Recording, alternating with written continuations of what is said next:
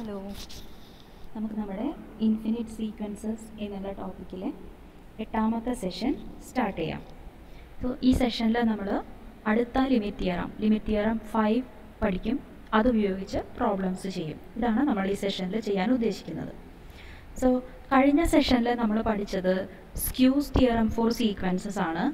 അപ്പോൾ നിങ്ങൾക്ക് ഒരു ഹോംവർക്ക് ഞാൻ തരാം. You find this uh, do this problem in your notebook. Find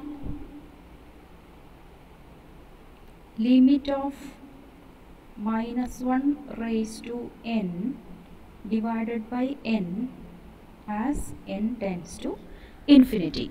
So your hint is that use Squeeze theorem. Okay, so do this problem in your notebook. Now I will move on to next theorem, theorem 5.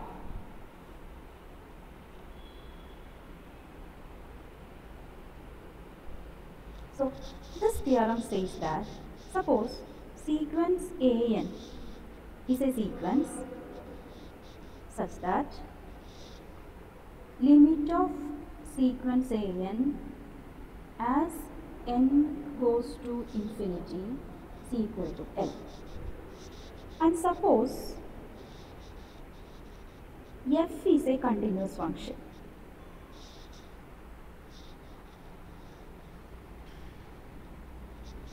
Then the theorem says that limit of sequence f of an as n goes to infinity is equal to f of L means f of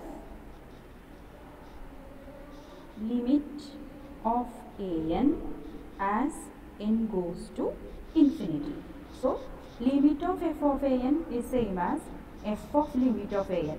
This is true only when f is a continuous function. Otherwise this result may not be true. Okay, this is theorem 5.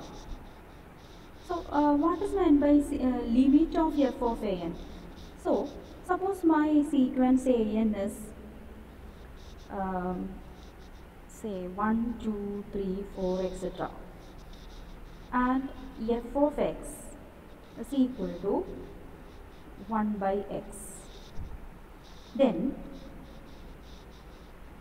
f of the se- this is a sequence. f of an means apply the function f on each element of the sequence, each term of the sequence. So, f of a1 is 1 by 1, which is 1. f of a2, it is 1 by 2. Then 1 by 3, etc. This is sequence f of an. So, if you have sequence an, you can find another sequence, sequence f of an. Okay, for this particular example, this theorem will not hold because here sequence an is divergent and the theorem discuss the condition where limit of an is a finite number n. Okay, so only when f is a continuous function and only if limit of an is finite, we can think about limit of sequence f of an. This is very useful theorem to find uh, limits of certain sequences. We will do one problem using this.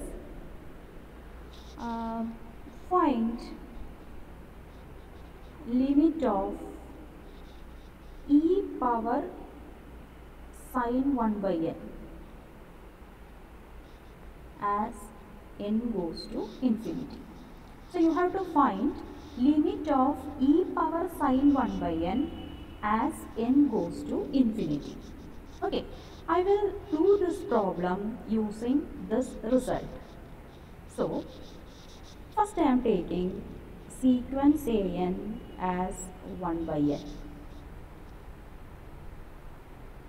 Okay, and I know that limit of sequence an that means limit of 1 by n as n goes to infinity is nothing but 0 and I will take a function f suppose my f of x is equal to sin x. We know that this is a continuous function throughout the real line. So this is continuous on the entire real line R. Therefore, by this theorem, I can say that when an goes to L, f of an goes to f of L. Here an goes to 0, so by theorem 5,